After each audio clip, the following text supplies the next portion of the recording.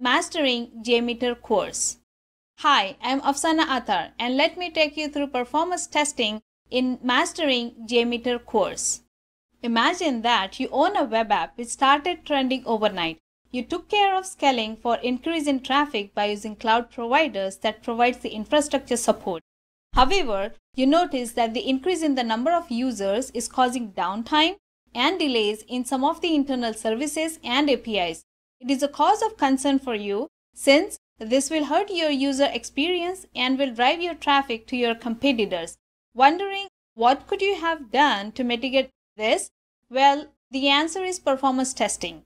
JMeter is an open source tool that can be used to measure the performance of the application or server under test in multi-threading framework. It allows you to measure and evaluate the performance of an application or server, check its response time, and make sure that the application is stable and reliable under various load conditions. JMeter helps you to accurately reproduce users' behavior and can help design complex scenarios to emulate hundreds or thousands of concurrent virtual users to apply accurate workloads. It is a powerful tool which helps you create, run, debug, and analyze the test execution results. It provides both tabular and graphical view of application response time and performance using visualizations plugins which helps in identify the most likely cause of any performance issues.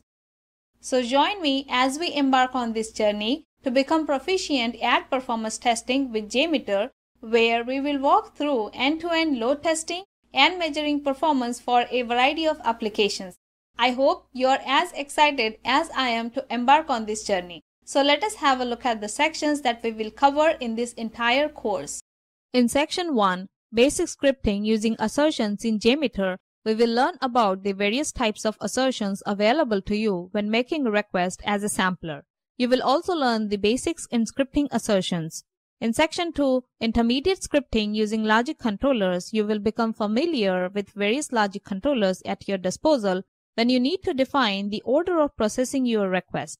Along with the defined logic controllers, we will also look at using logic controllers in scripting. In section 3, samplers, which is also known as request in JMeter, we will explore the various types of samplers which helps in making requests to the web server under test. We will understand each type with the help of an example using script. In section 4, integration of Selenium with JMeter, we will learn how to integrate JMeter with an industry standard tool for web testing, Selenium. We will understand how to set up JUnit test cases and explore integration with Selenium WebDriver. In section 5, Advanced Scripting, we will take a look at scripting via Java using BeanShell, which is the most popular plugin for JMeter. We will explore BeanShell pre and post processors and the BeanShell sampler. In section 6, Overview of Test Controller, we will learn about test controllers to control the execution of pieces of the test plan.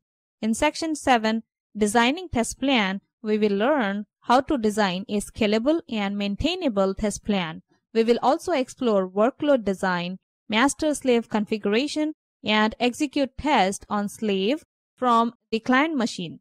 In section 8, JMeter validations in non-GUI mode testing, we will learn to run test and monitor result in non-GUI mode. And finally, we will learn about a different approach where we are going to use Taurus which can execute JMeter scripts. Now this is another approach where instead of using the command prompt, we will be using a tool Taurus designed by Blazemeter.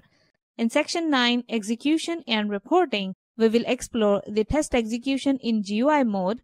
We will also explore to analyze and monitor the test execution result using Taurus to track the performance metrics like response rate and so on. So let's get started.